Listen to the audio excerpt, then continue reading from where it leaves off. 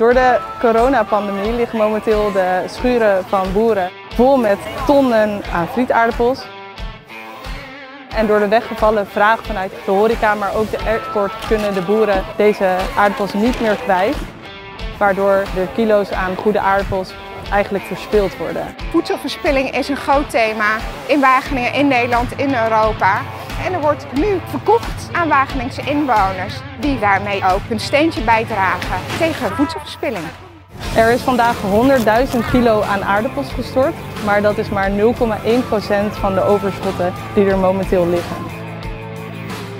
Er zijn ontzettend veel mensen die geen toegang hebben tot goed voedsel en uh, dit is ja, natuurlijk een beetje scheef.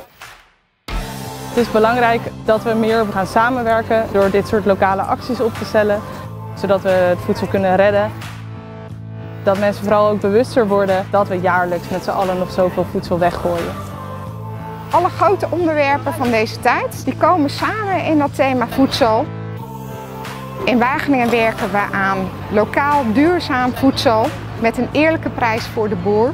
Een hele uh, grote bijdrage kunnen mensen leveren als ze bewust kiezen voor lokale producten.